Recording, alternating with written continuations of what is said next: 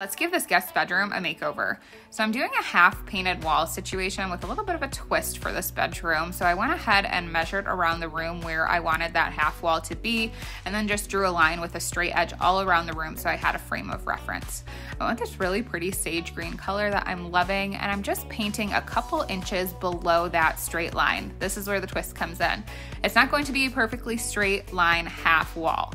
It's going to be a rough edge half wall, and so I'm just taking my paint roller brush and just very lightly feathering out at the top of that line. I'm going in different directions, different angles, using different pressures, even a brush at some points, just to get a different variety and texture going all around the room. Now, I know this might be controversial and people will either love it or hate it, but I saw it on Pinterest and had to give it a try, and I'm kind of liking it. I like the variety it adds to the half wall. What do you think?